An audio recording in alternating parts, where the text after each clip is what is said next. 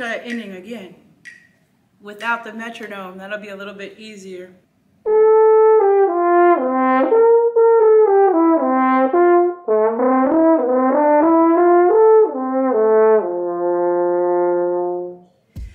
Now the key to working with this one, it's not too hard. There are a couple of measures in there that you wanna um, really work on, but the main thing is to not play it too fast.